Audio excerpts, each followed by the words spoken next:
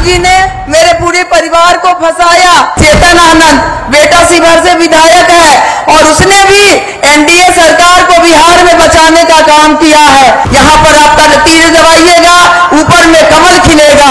आपकी बहन जो है, छोटी बहन, लगातार संघर्ष की है। चौरानवे ईस्वी से, चौरानवे ईस्वी में मैं लोकसभा का चुनाव जीती थी। वैशाली चुनाव, जो बहुत ही ऐतिहासिक चुनाव था।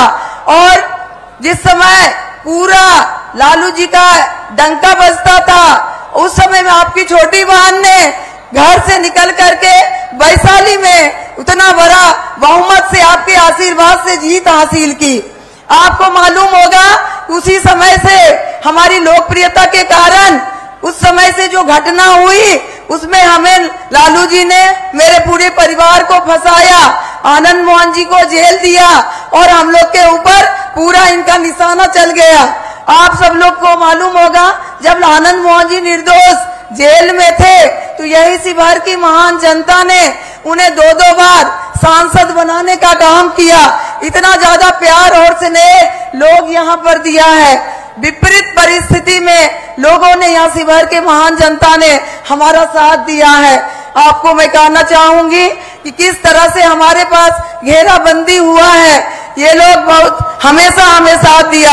आज हम आए हैं अनुकूल परिस्थिति में। आज अनुकूल परिस्थिति में हम लोगों के बीच जा रहे हैं। तीस साल से शिवहर से हमारा नाता रहा है।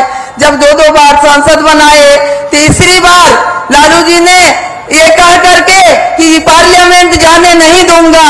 आनंद मोहन जी को इस तरह से घेरा सात सौ वोट से काउंटिंग में हराया गया, क्योंकि आनंद मोहन जी अटल बिहारी वाजपेयी को एक वोट दिए थे सरकार बचाने में और दस वोट दिलाए थे अगर एक वोट से सरकार बचती तो आनंद मोहन जी के वोट से सरकार बचती तो हमारे पीछे इस तरह से पड़ा गया है लेकिन आपकी बहन आपकी जो है, वो हार नहीं मानी। लगातार हम संघर्ष करते गए हैं।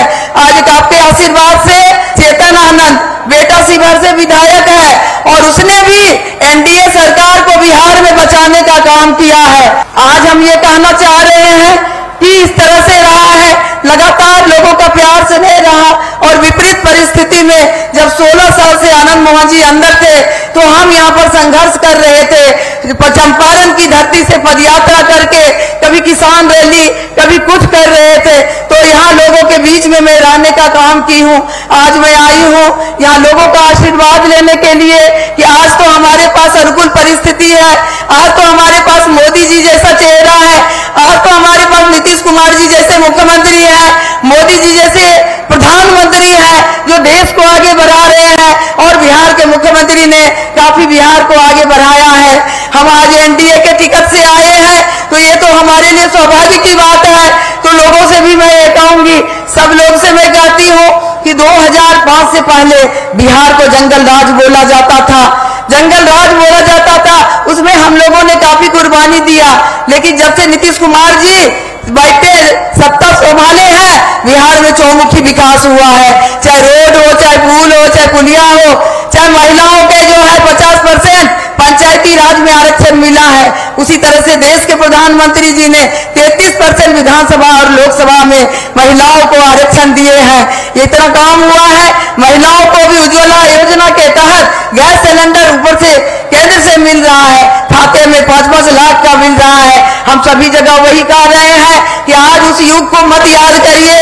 लालटेन युग को, जहाँ की कोई सुरक्षित नहीं था, हत्या, लूट, अपहरण का बोलबाला था बिहार में लोग सुबह निकलता था शाम में घर वापस आएगा कि नहीं इसकी कोई गारंटी नहीं होती थी लेकिन जब से सीएम हुआ, मुख्यमंत्री जी पर संभाले हैं, देश का, बिहार काफ़ी आगे बढ़ा है। उसी तरह से यहाँ पर नरेंद्र मोदी जी के नेतृत्व में देश हमारा आगे बढ़ रहा है। अयोध्या में भव्य राम मंदिर बन गया। इतना ज़्यादा जो अब वर्षों से था बड़ा हुआ, वो हमारे मोदी जी ने किया है। अब हम सभी लोगों को कहते हैं, आइए हमको साथ दीजिए, आज हमारा मत ज़्यादा सुनिए, आज हमारे अतिथि का सुनिए। हम तो आपके घर के हैं, हमेशा आपके बीच में रहते हैं। लेकिन ये मैं कहने के लिए आई हूँ, आप लोग अगर हमें जिताएँगे तो जो रीगा चीनी मिल बंद पड़ा है, वो निश्चित रूप से खुलेगा। रेलवे लाइन शिवहर में नहीं है, शिवहर सीतामढ़ी मोतिहारी होके रेल लाइन जाएगा। ये सभी हमारा मुद्दा है, और पुनौरा धाम में भव्य जानकी मंदिर बनेगा। उसी तरह से क्योंकि केंद्र में हमारी सरकार रहेगी, बिहार में सरकार है, डबल इंजन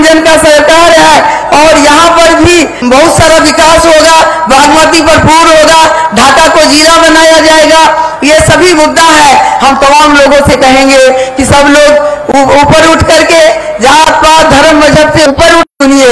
यहाँ पर आप